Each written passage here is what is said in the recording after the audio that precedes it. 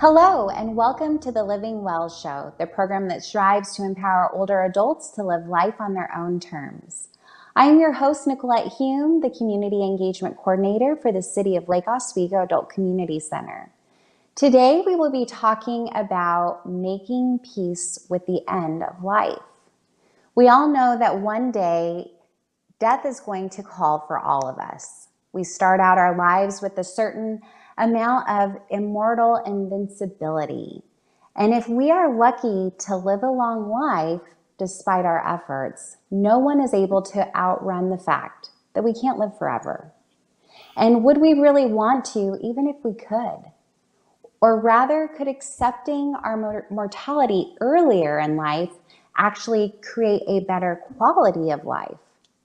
I would like to introduce today our guest, Dr. Terri Daniel, who is an interfaith hospice chaplain, end of life educator, and grief counselor, certified in death, dying, and bereavement by the Association of Death Education and Counseling in trauma support by the International Association of Trauma Professionals.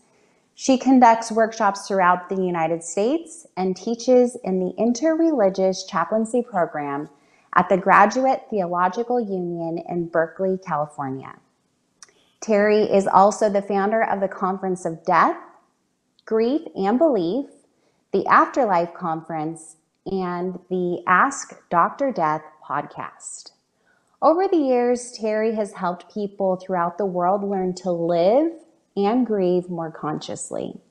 Her work is acclaimed by hospice professionals, therapists, theologians, academics, and spiritual seekers.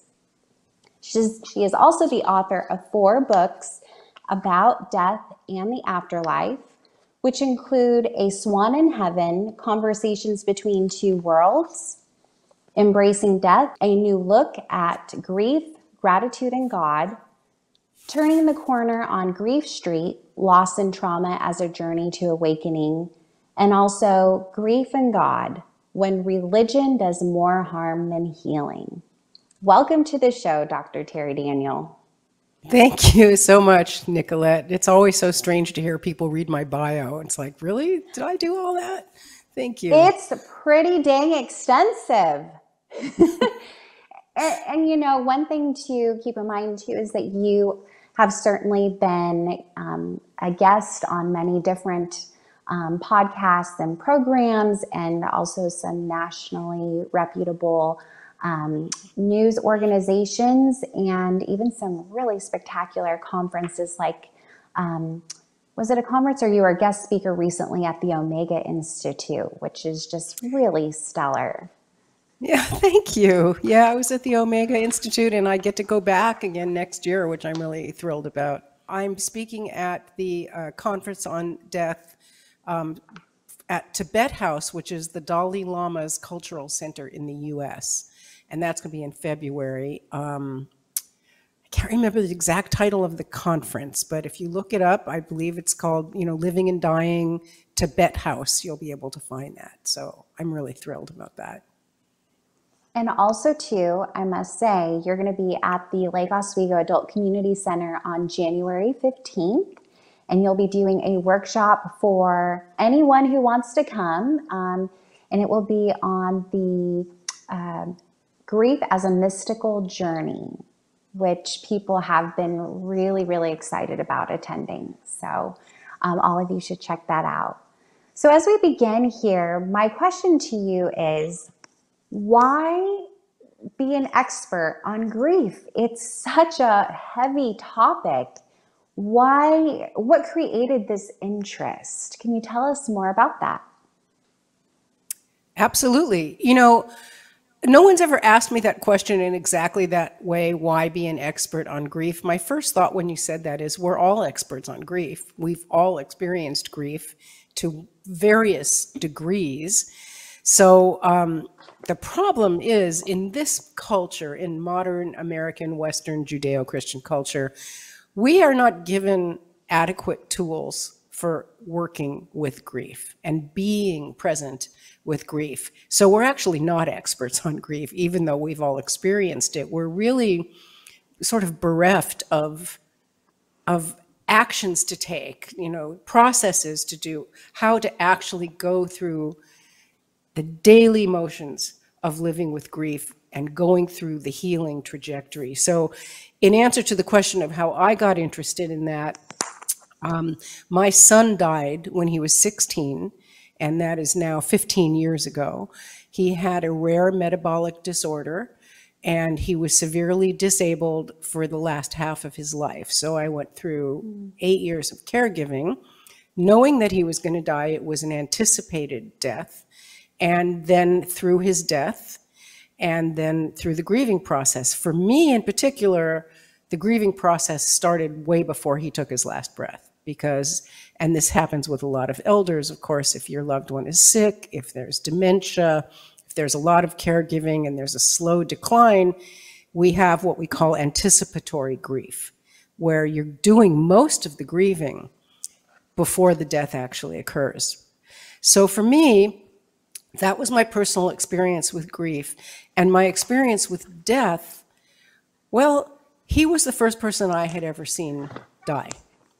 And all of the pain and, and horror of that being my 16 year old son put aside for the moment, the process of being with a person as they're dying surprised me about how absolutely beautiful and spiritually pristine it was. And after it was all over, uh, I said to myself, I want to keep doing this. I want to do more of this. Mm. There's something in this that is calling to me. So that's those are the the seeds that were originally planted. I have to applaud you because I I just don't know how a parent could I mean, it's a nightmare to be in that kind of a situation. And I just don't know how you and some others who are these I guess, grief guides, if you will, um, are able to do that kind of work with other people, you know, after experiencing the loss of a child and and yet find a way to take that pain and transform it into um, this I don't know if you'd call it a vehicle or or, or just something that not only um, helps you but helps so many. I, I just it blows my mind. It really does. I, I can't say it any more simply than that because I just, you don't hear that happening too often. You hear more of the other where it's just like a complete, it's like there's two deaths, you know, um, the death of the child and then of the parent or even um, many other loved ones that um, it could be the breakup of a marriage also and, and children grieving as well the other children in the family. So i just i just really applaud you for that. And my other wonder or i have two kind of questions is with anticipatory grief is versus like um, someone let's say dying in a car accident or, or something like that where it's just this sudden death, is there a difference in how people grieve? One would assume so, but I'm curious what you've seen in your line of work. So hold that thought for just a minute because I want to go back to what you said previous to that because those were two okay. really big things and I don't want to skip over the first one. So the first one is you were saying, you know, that it's so impossible to comprehend how somebody can not only survive the loss of a child, but thrive afterwards. And what you said was, you know, you mm-hmm. hardly ever hear of people doing that. What you mostly hear about is people who just die themselves, who just get forever broken. And I think it's so interesting that you said that because in, in the world of people who don't work in this world, I guess that is what you hear. I guess most average people who haven't been around this a lot have an image in their mind that if you lose a child, you're just broken. That's it. It's over. You're devastated. Mm-hmm. You don't recover. You never have a life again. And that is so not true. It's true for some people. And that would be a good description of what we call complicated grief, which, if we can put a bookmark in that, we can come back to that. But in my world, I see lots and lots of people who have had lost a child or lost somebody close to them through a tragic death, suicide, murder, all kinds of stuff. And yes, of course, there's a deep wound that never goes away. But using the proper tools and with the right kind of support and guidance for walking step by step through the grieving process, you do become whole again. But you're not the same person you were before. You become somebody different and you become patched together, certainly like a broken vase with cracks in it, and you glue it together. But the seams eventually meld together, and you actually can become completely whole with this other piece in your story of this child who died or spouse who died by suicide, it's still in there, but it becomes part of the fibers and the fabric. And that makes you who you are. And for a lot of people, it makes you better because you're deeper, you have more facets. Perhaps you've done something with your life, like gone and started a foundation for your loved one's illness or studied you know deeply a particular you know spirituality or whatever the thing is for me personally um, when I, after my son died i became a hospice chaplain and I immediately recognized that I wanted to talk with the patients and their families about their spiritual issues that they were experiencing around death and afterlife questions. But as a volunteer, you're not allowed to do that. And that's when I was motivated to go back to school to get a bunch of degrees and training so that I could become a chaplain. So for me, that's how I put the pieces back together. And I feel more whole now than I ever was because I think if I had just had a normal life with a normal kid, right now he'd be 31, maybe he'd be getting married or something, it would be very lovely and peaceful and beautiful. But I may, very likely wouldn't be doing the important work that I'm doing right now and contributing to the world in the way that I am. So I feel like I'm more productive and uh, creating better stuff as a result of this. Not that I would have ever chosen this consciously. So that kind of addresses your, your first question about how do people survive this. And a lot of people who've lost children, and again, I, I really emphasize this, it depends on the kind of support you're getting. If you're getting good um, emotional and spiritual and social support, you'll have a completely different experience than people who don't have that. Plus, there's a long list of other factors that contribute to complicated grief, which basically means grief, a grief process that doesn't follow what we know through research to be what we consider a normal trajectory of healing. So that's the first mm. part. And now I can't remember what the second part was that you asked. Um, my my memory escapes me. We we will come back to that at some point. Okay. Um, oh, that uh, the question was when you have antis, what uh, is uh. I guess more complicated anticipatory grief or just this sudden death? Like, is one worse than the other, or they're both the same and complicated in their own way? I'm just kind of curious. Um, yes, no. The, uh, there, that is a question that is always asked, and there is never an answer. And so, if you're in a room full of people at a grief conference or a grief group, and somebody's kid was hit by a car and killed, and somebody else's kid had a long illness like mine, these two mothers may very often say to each other, I could never have gone through what you did you know, at least I had time to anticipate his death. And the other mother would say, I could never have gone through years of anticipating his death. Maybe having him just die suddenly was better. There's no answer to that question. You can't ever compare that. Um, but everybody wants to, and everybody does. Yeah. And I has and so the word complicated is really tricky here because there is actually a, a, a psychological term, a diagnostic uh, term called complicated grief, which we don't like mm-hmm. because it's it's a word that's used all the time for everything. right? So we don't like to call it that because then people go, oh, well, it's all, grief is always complicated.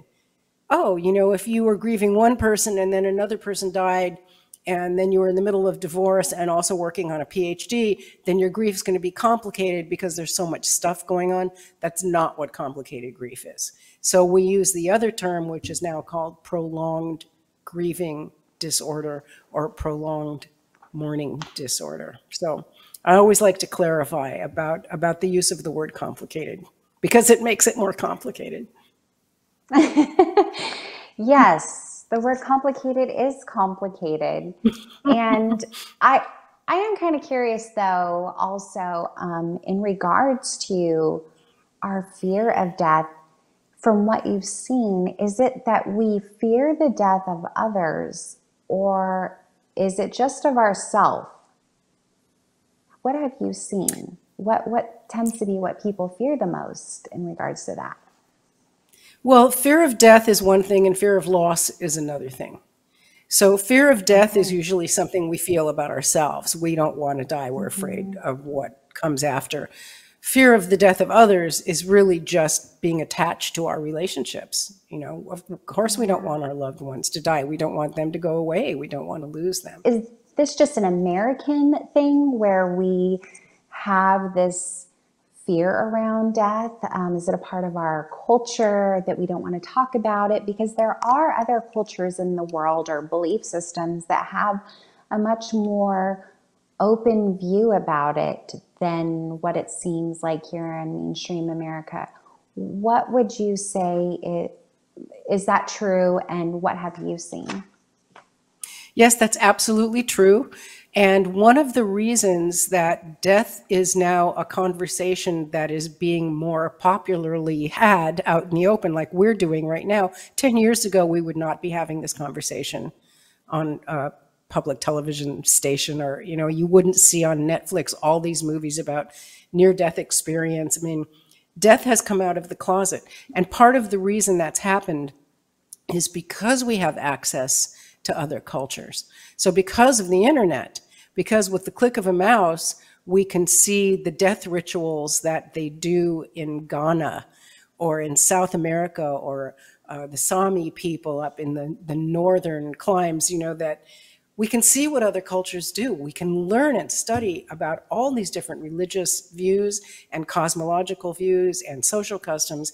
And that's really made it so much easier for us to start having a conversation about death. And in mainstream America, that conversation is changing much, much more slowly than we would like. For example, um, we can talk about this. There are death cafes, and people can become death doulas, and hospice is now an acceptable thing. We have death with dignity.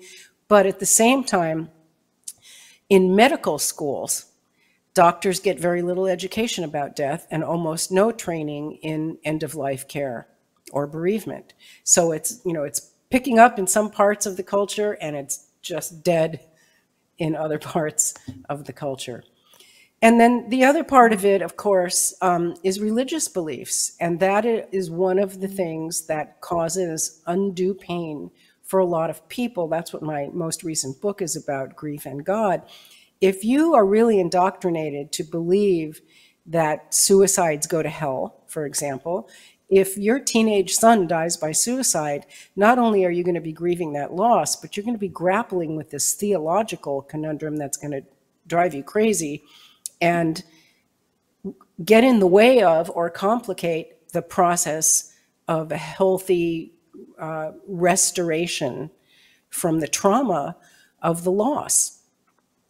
And, and there are lots mm-hmm. of other religious beliefs that complicate that too. I, I mean, I run into to patients and clients who believe, um, according to literal interpretation of scripture, that death the reason we die is because of original sin and that we're not really supposed to die. The only reason we have death is because, you know, God is unhappy with us. I mean, the, the spectrum of beliefs like this goes on and on forever, but I see it a lot in people when they're grappling with facing their own death and grieving the death of another. Well, I just feel that it puts this unnecessary burden on someone who's already down. I mean, Yeah. in, in the pits of their own hell. You know, I really can't see how that could be helpful. And I'm not saying that I'm not, you know, um, uh, understanding of people who have their own religious beliefs or what have you. I totally understand that, but it just makes it so much more difficult to move through that that type of pain. Um, my other wonder too is we see a lot more out there in regards to near death experiences. You have even hospice um, nurses or even death doulas who share their experiences on um, social media, and there seems to be more of um, an understanding and acceptance that these, uh, as people are dying, that there are these very um, interesting and I guess you could even say mystical um, experiences that people have, regardless of what their religious affiliation has been or even no belief whatsoever, that there are some undeniable. Um, you know stories that kind of repeat themselves throughout um, people's experience as they are dying what have you seen in that um, regards you know through some of your work Well, I've seen a lot of it through some of my work, and also I've seen it through, you know, my research and studies in religious history. Um, people have been having out of body experiences since the beginning of human existence, and they've told these stories. The stories have been built into the legacies of their tribes and cultures, and it becomes part of the the group's belief system. And from a lot of these stories, we get depictions of the afterlife. So one example that I like to give, in, and this comes from Mark Mirabello's excellent book, A Traveler's Guide to the Afterlife, is in the zoo with the Zulu people. They believe in reincarnation, and they believe that you can come back as an animal, but only a chief can come back as a lion. So let's look at this belief just as an example. Where would they get an idea like that? They get that idea because somewhere back in their history, hundreds, thousands of years ago, somebody died and was resuscitated or woke up and came back from death, which happens all the time. Um, there's tons of studies on it, you know, in America, in the world right now. We'll talk about that in a minute. And he came back and he said, I went to the other world and I saw my cousins and my children and my brothers, and I saw the chief, and he was a lion. So that gets recorded in the history of that tribe. And so that's where we get a lot of these afterlife depictions. What happens in a, a culture that has a big power structure that organizes itself into a set of beliefs, which in, in the Western world would be the Catholic Church creating doctrine uh, over the 400 years, or I'm sorry, 200 years after Jesus died, and they started building the doctrine, is they'll take all this stuff, which they heard about all the time because the Egyptians talked about it, the Greeks talked about it, the pagans, everybody had some sort of story. And the, the power structure will take that and package it into a doctrine. So yeah, there's an afterlife, but if you're bad, you go to this bad place, and if you're good, you go to this good place, and that way we can scare people into behaving according to the behavior codes that we are creating. So that's mm-hmm. sort of the origin of this in an ancient sense. Um, what, ha- what we see today, we have researchers back in the 1970s, uh, Dr. Raymond Moody did, and also Dr. Melvin Morse. They did the first actual bona fide academic studies on near death experiences. Melvin Morse was a pediatrician, and he resuscitated many, many, many children in the ER. And they would often come back and tell stories like, I flew up into the sun and the sun hugged me. Um, or I saw my grandma and she told me I had to go back home. Or I saw Jesus. They'll all have these stories. So he started compiling that information, and many, many others have studied this over the years since then. Most notably, we have um, Pim van Lommel in the Netherlands, who studied, you know, cardiac arrest patients who were, were reporting these experiences. Sam Parnia, who I believe is at Stony Brook University now, um, his book, Erasing Death, um, talks about several studies that he did that document these experiences that people have had. So this is science now. This is not fiction. It's not religion. It's moved into the realm of actual science and medicine. And um, Parnia actually has coined a new term for it. He calls it resuscitation medicine, the science of resuscitation, not just what happens when you get somebody's heart going again, but what happens to their consciousness in that process. I know there's some interesting, um, like on Netflix and things like that, some kind of docu series that are related to that. And I think one I saw was out of the University of Virginia that talks mm-hmm. a lot about kids and they're I think they're studying like reincarnation and children with these like incredible memories of things that you're just like, how would how would you know that? That just is so mind blowing. Yeah. You're five. um, but you know that whole idea on you know near death experiences. I mean, it is such a fascinating topic um, because it's kind of like in the paranormal, and there's you know a lot of people are excited yet scared by such topics because there's there's no people have experienced it, but it's not like it's just tangible to everyone at the same time.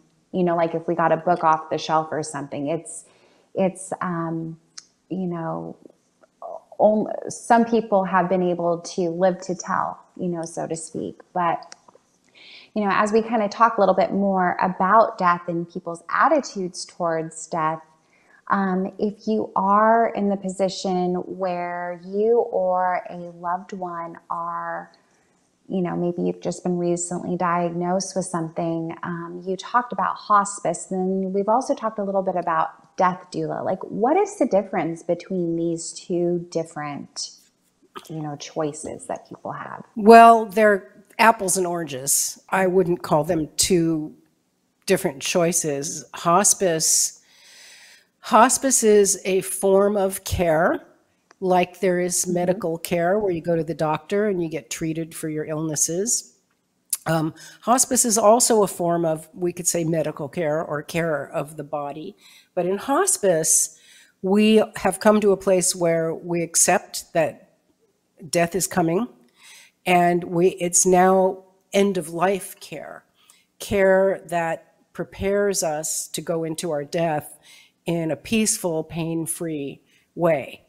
Um, so what happens with hospice care is you no longer do medical interventions. You don't go to the doctor and get chemo and surgery and dialysis. You've come to a place in the progression of your illness where that isn't going to help anymore. All that's going to do is make you suffer more.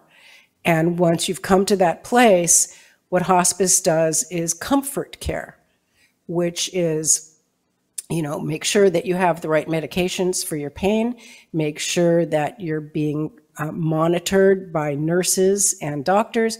There are social workers that help with um, resources and social services. There are chaplains that help with spiritual care. And all of this is to surround the person with a, a loving, compassionate team of people to help them go forward into their death. A death doula could be one of those people on that team. And the thing about death doulas is it's not really a, a clinically official designation yet. Um, there are organizations that are working on that. You won't see a death doula on staff at a hospital or a hospice, but that's what we would like to see.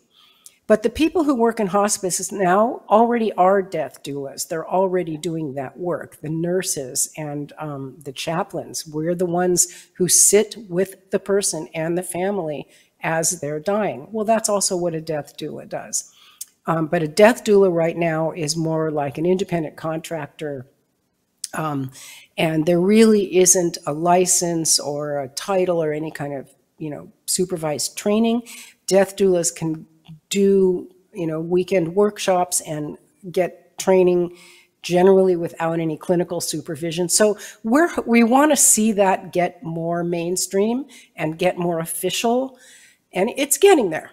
It's you know that we've made a lot of progress, but there you know you're not going to go to an emergency room and somebody's you know dying right then and there, and someone's going to you know page the death doula. That that hasn't happened yet. Well, and I almost wonder if it's like you have an actual therapist and then you have a life coach. And even though the life coach has a certification and what have you, and they could be extremely effective, they're still not, you know, let's say an MSW or a PhD in, you know, psychology or what have you. Is that kind of what it's kind of similar to? Yeah, it's it's exactly like that. And what I have found, and I love the idea of death doulas, but what I have found with dozens and dozens and dozens of people that I've known who are doulas, who are or training to be doulas, is in most of the training programs, they don't require you to have actual hands-on clinical experience. So maybe somebody becomes a death doula because they sat with their mother through her death and it was a beautiful experience and they want to do more of that. I completely understand that. But their mother's the only person they've ever done it with. And so, you know, if it was up to me, if I was teaching in a program like that, I would say the first thing, you know, before you get your certificate, um, go be a hospice volunteer for six months and do, you know, 90 hours and have your supervisor at the hospice sign off on your 90 hours and then I'll give you a certificate as a death doula. And so I, I, am assuming that some of the programs do that, but I know that some of them don't. So that's kind of where I personally would draw the line. Um, I, I'm just a big believer in, you know, clinical supervised experience. That's just me. Oh, absolutely. And I'm also curious too you know, on the hospice side, you know, you have nurses, and it seems more clinical versus um, a death doula. It almost seems more um, like non-religious, but I mean, like more spiritual support. Mm-hmm. Is is that mm-hmm. true in that regards? Okay. Definitely. I would definitely say a death doula does spiritual support and is trained for that, is also trained to guide the spirit out of the body.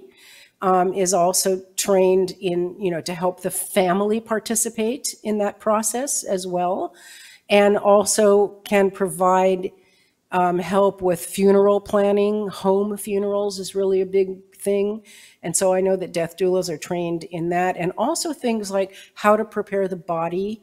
That's really important. Obviously, you know, when you have hospice, um, at home or in a facility, the body is taken care of. When somebody dies in a hospital or a facility, um, you call them, the mortuary comes and takes care of the body. And that really is, is lacks a lot of personal process that I think is important. For example, when my mother died, she died in a hospital. She was in hospice care, but she was in a hospital. And because I do the work that I do, I stayed with the body. I did a ceremonial washing of her body, just a little ritual where I, you know, wiped her eyes with a cloth and blessed her eyes for all she had seen, and wiped her chest and blessed her heart for all she had felt, and her feet for all the steps that she took. I did this little ceremony over her body before they came and put her in a body bag. Death doulas are great at that. They're, they're trained to how to shroud a body, how to create a beautiful space um, for viewing a body, for burying a body. So um, that is something that the training does a really good job of. I'm, I can not really speak to um, their knowledge of grief work, but the end of life and body care is it's a beautiful thing to add. So if you're a, on hospice um, you could definitely bring in a death doula to do that part of it for you. The imagery of you doing that ceremony with your mother is just so incredibly beautiful. What a, what a gift i feel that you gave her but also yourself. But go on go on with what you're going to say. Well, and so, you know, um, you, to do that, you have to be there when the person dies. And with hospice, we're not always there when they take their last breath, you know, but we get called immediately and we go and the body is there. And we we could certainly do that if the family wants it. It's all about what the family wants and hopefully what the person who died would have wanted because hopefully they stated their wishes while they were still able to do that, which will bring us to our next conversation about, about end of life planning. But, you know, if you had a loved one in hospice care, you could absolutely hire a doula um, to come and be present for that and do that. You just never know when that last breath is going to happen. Some, I mean, you kind of know like days or hours, but not much more than that. So, so I was going to say that we also have NODA, No One Dies Alone, which is a program all over the country, but we have it here in Oregon where people are trained to do what's called vigil. And that's during those last days and hours, you go and you sit with the dying person to just be present with them, to send them loving, compassionate energy, perhaps to do some ceremony or some guidance. It depends. I mean, this would be an excellent place for death doulas to go, but it's on a volunteer basis. So it's a beautiful thing to do. And I would, if I was training a death doula, I would say go volunteer for NODA for six months.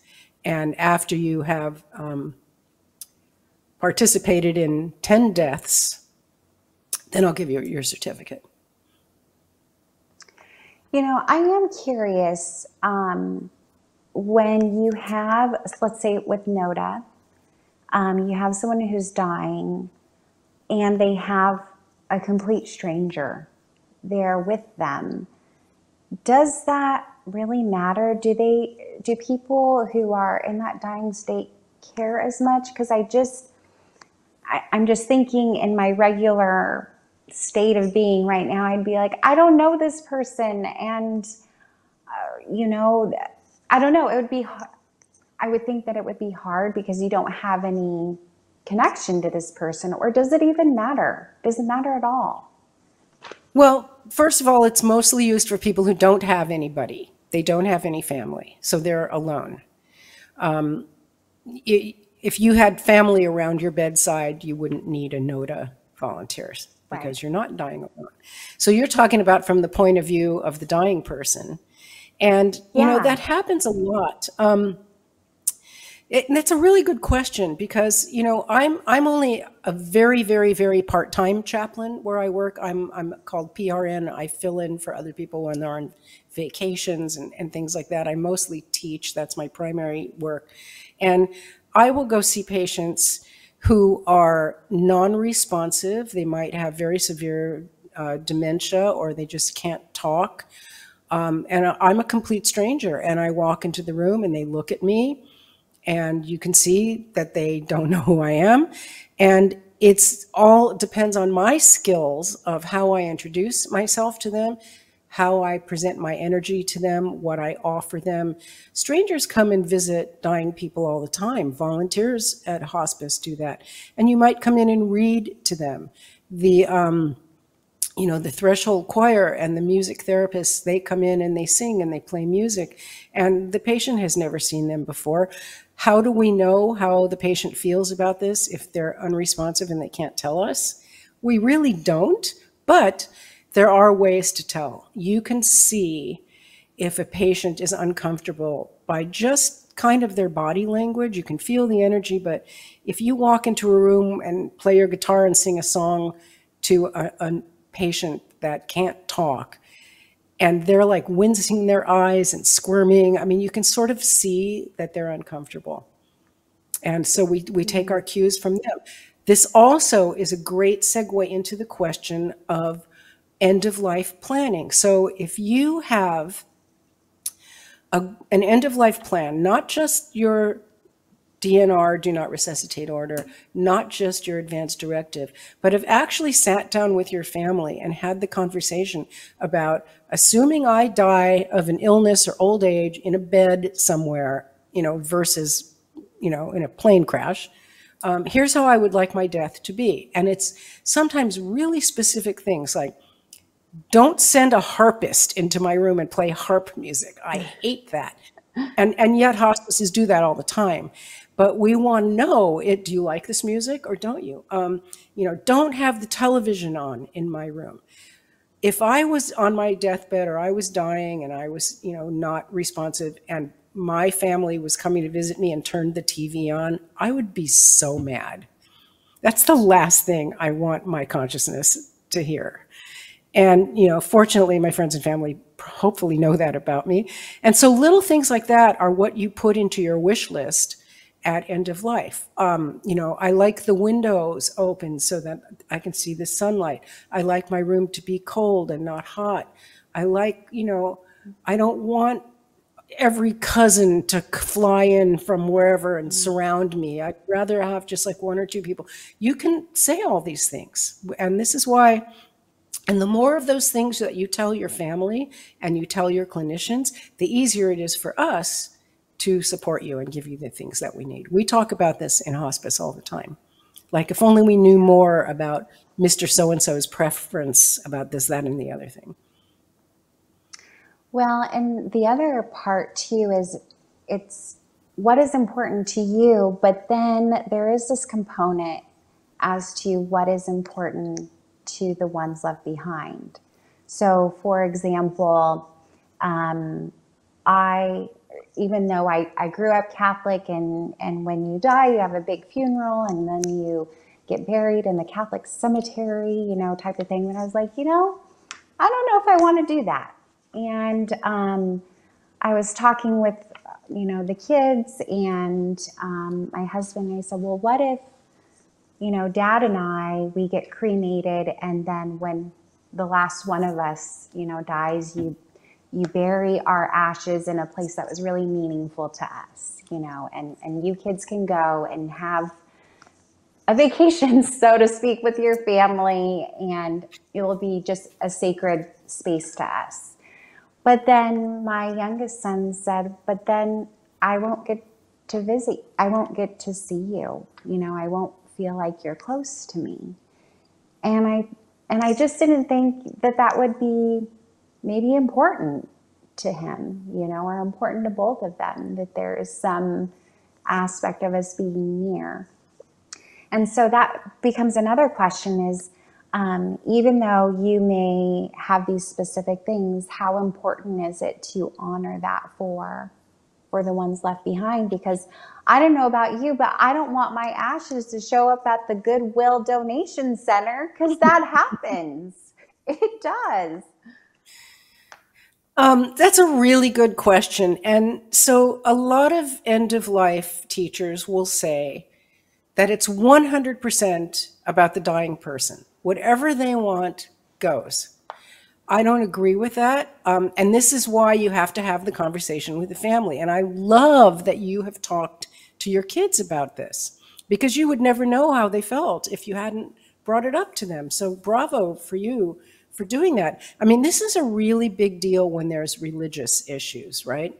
So if I was dying and and you know, I had a religious Catholic family, you know, who wanted to have a Catholic mass and all of that, I this is not what I would want. Um, and I would hope that we could, you know, have some kind of agreement. But people don't always honor those agreements. I know a family where the dad the elder father was very, very Catholic. He had already stated to the family that he wanted a Catholic funeral, a Catholic mass. He wanted to be buried, the ashes in a Catholic uh, graveyard. And one of his daughters was a born again Christian.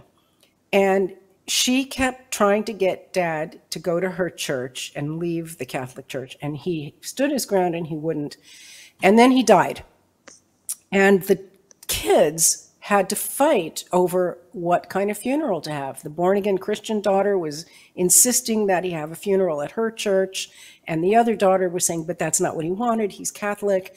And in the end, because he lived in, in the same town with the Christian daughter, she went ahead and gave him that funeral anyway, which was not what he wanted. It was a huge thing in the family. Wow.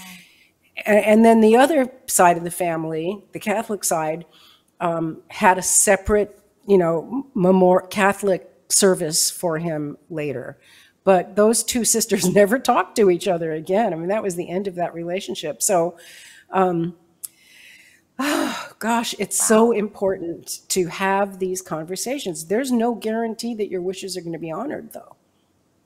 You know, you I, and you, this is why you should find someone that you trust to honor your wishes. Mm-hmm and make them your representative in your DNR, but uh, I'm sorry, in your advance directive, but still that's not going to override what the family does.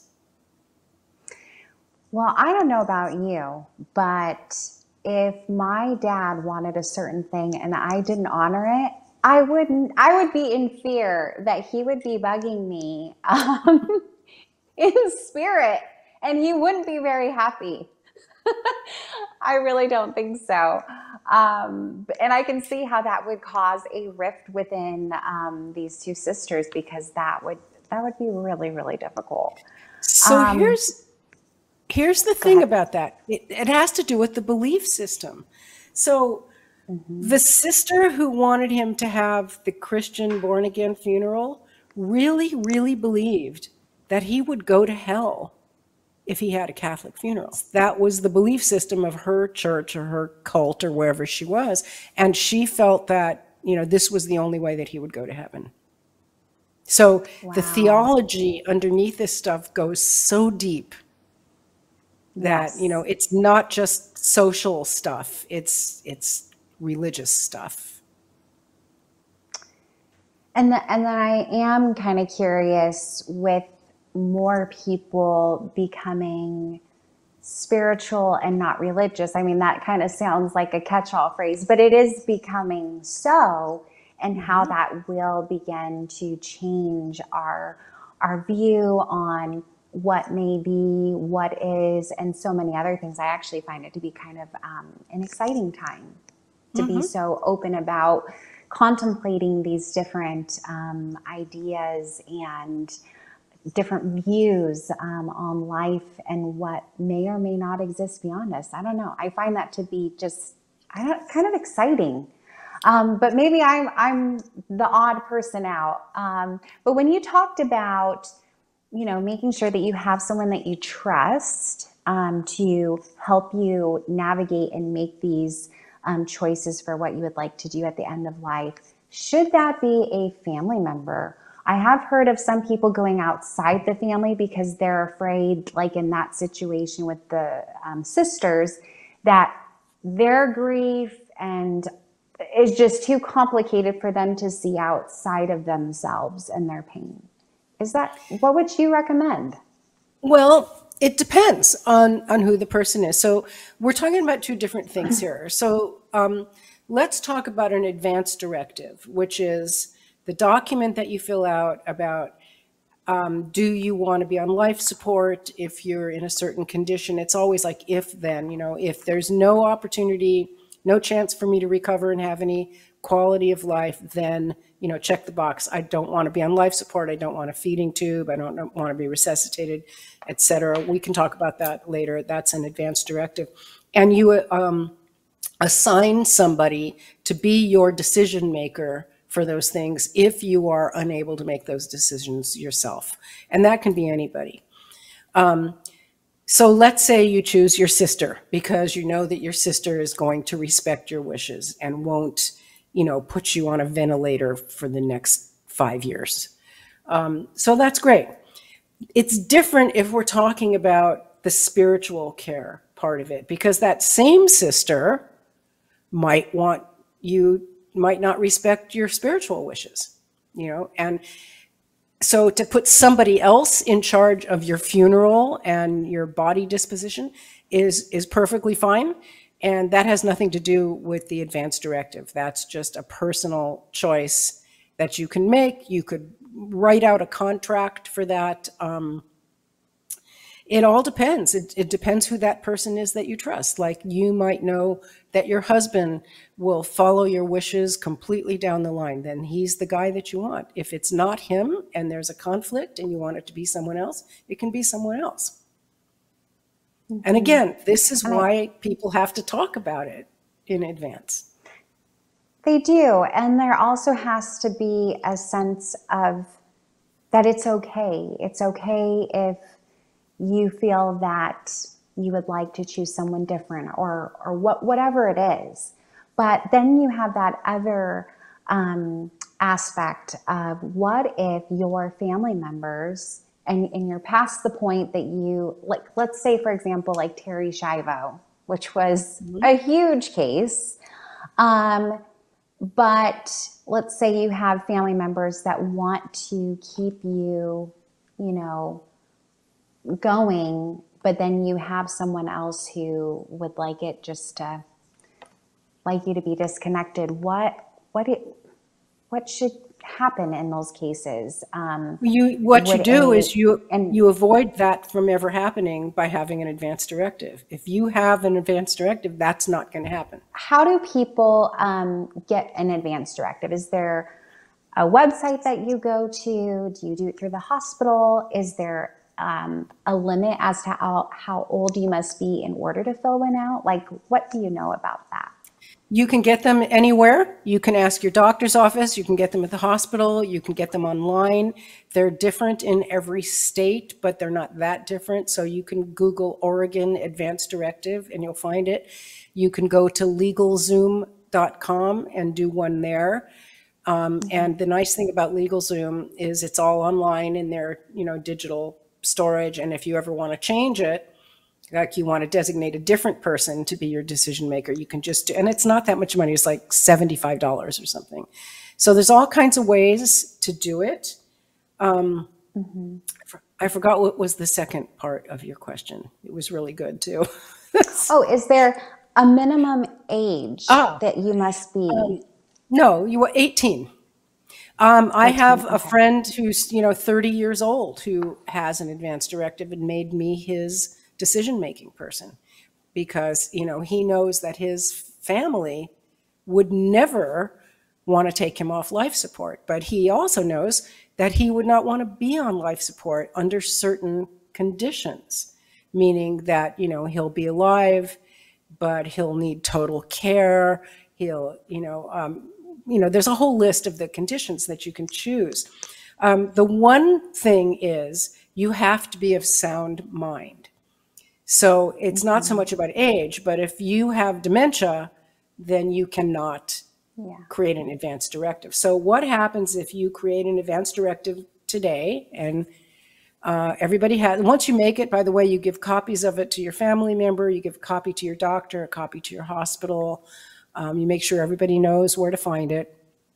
And, and then five years later, you have dementia um, what often happens is the argument will be, well, she made this advance directive five years ago, and now she has dementia, and we can't ask her, do you still want this? Because anything you say uh, when you have dementia is not valid. So um, what you do is there's a way to put a clause in it, and there's an organization that helps you with this, uh, where it says, I'm signing this advance directive today in December 2021. But if I die, you know, 20 years from now and I have dementia and I can't speak for myself, I hereby declare that this is still what I'm going to want. Oh, okay. So, well, you know, that makes a lot of sense. It really yeah. does. And I am curious too if you can re, um, like, let's say, for instance, um, I'd went in for a surgery and the hospital had asked me to do an advance directive. And even though I'm in my late 30s, I was like, you know, I don't, this is how I would see it right now. But in 20 or 30 years from now, I may think differently. You know, mm-hmm. are you able to um, change these things over time and fill out a whole oh, yeah. completely new one? You can change it anytime you want. And that's why um, I like doing it with an agency like LegalZoom because you just you just go into your account and you change it and you re um, upload it and then you just have to make sure to let all your loved ones know about every change that you've made. Um, what they will ask you when you go to the hospital is, um, a, you know, if you want a DNR, a do not resuscitate order, no, even if you're only 30. Um, and what that means is, um, you know, if you have a stroke on the operating table or something goes wrong and you're dying, um, do you want them to start up your heart again to resuscitate you and uh, keep you alive? And most young people are going to say yes. I have a friend who just this morning, early, early, early this morning, had a massive heart attack. And he wasn't young, he was in his middle 60s, but he was a firefighter, fire chief. He, and he was a paramedic and he was super healthy and super fit. And he was a surfer and a sailor, he had a sailboat, you know, the healthiest guy in the world. Just boom, one day has a heart attack. And he has no other serious medical conditions. And even though he's 65, he totally wants to be resuscitated no matter what. And for a guy like that, that's a good decision. Now, you know, I have another friend whose husband just died, and he was not much older than that, but he had congestive heart failure and diabetes and a, a whole bunch of other things. You know, he could barely walk, he was in the hospital all the time. And then he had a heart attack, and his decision was the other way. His decision was no, don't resuscitate me. I'm tired of this. I've been, you know, in an ambulance to the emergency room three times this year. I can barely walk across my house. I'm in pain all the time. I'm depleting all the family resources. I think I'm done now. Because you know, he knew he's never going to get better. You don't recover from that at his age and it's just going to be downhill. And so we have to be wise enough to recognize that when when it's right in front of us. Now, those are two really great examples. Um, and again, that people should be honored for what they desire, even if it makes us feel incredibly uncomfortable or, you know, um, maybe in some cases angry. Um, it- that that would be their choice because maybe they are a spouse or or a child or what have you but um, you know as our show comes to a close what final words of wisdom do you have for our viewers um, around making peace with death that you'd like to leave with them I would say um, number one, if I had to just say one thing, it would be talk to your loved ones about end of life. Um, there's uh, something called the Conversation Project. You can Google that and find it online. They have some really good resources about how to have these conversations. I would also suggest if there are conflicts in your family and it's not going to be an easy conversation, bring in an outside person um, even a mediator if it comes to that or you know a best friend of the family or you know if you have a spiritual community and you have a pastor or a spiritual advisor of some kind um, family meetings about stuff like this i have found are always best when there's a, a more or less neutral extra person there because um, families can't always talk to each other very well, and I'm putting that mildly. So, um, somebody to facilitate a conversation like that. Um, if you're in hospice care, um, the hospice chaplain or the social worker will be able to do that for you. So, if you're at the point where somebody's in hospice and it's time to talk about how you want the death to look and the funeral and all of that, um, hospice can help you with that. So, that's really my my final statement, I think, in this context of what we're talking about.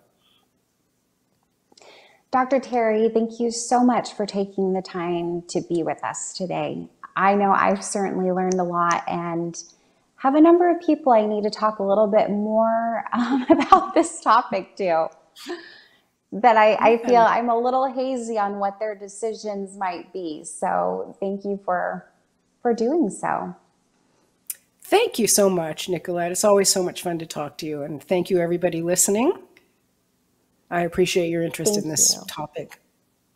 Thanks. Thank you. And for everyone to remember again, you can see Dr. Terri live at the Lake Oswego Adult Community Center January 15th in her workshop, Grief as a Mystical Journey. So definitely keep your eyes peeled for that. Thanks again, Terri. Thank you. And that's it for today, everyone. I'm Nicolette Hume, and thank you for being a part of our community today. We've learned a lot about death, about grief and belief, and that is actually from Dr. Terri herself. Um, but really, that pretty much sums it up when you get down to it. Have those conversations, those uncomfortable but yet necessary conversations, because it will, you know, relieve your heart from so much worry and stress and grief. And ultimately, we all want to make that transition in a way that brings us peace and maybe in some ways joy. So take care, everyone. As always, stay kind, be safe, and always stay curious. Take care.